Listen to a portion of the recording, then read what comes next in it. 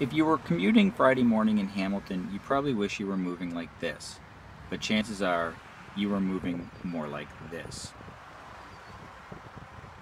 The Link, the 403, the Red Hill Expressway, and roads throughout town ground to a halt Friday morning. A truck accident atop the Skyway Toronto bound caused the bridge to be closed and it has remained closed today and in the foreseeable future, forcing motorists to get very creative finding a way around the chaos.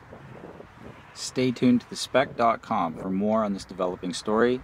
For thespec.com, I'm Barry Gray.